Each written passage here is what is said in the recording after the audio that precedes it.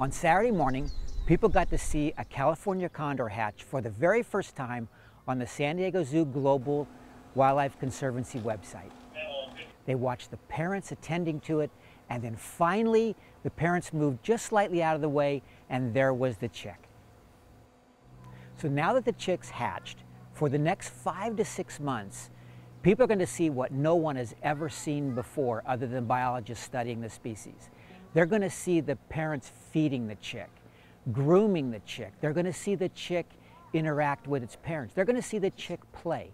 The parents of the chick have a very unique history. Sis was the first chick ever hatched in a zoo in 1993. That egg was removed from the wild when the population almost went extinct. Since that time, Sis and Shatash have now hatched 20 chicks.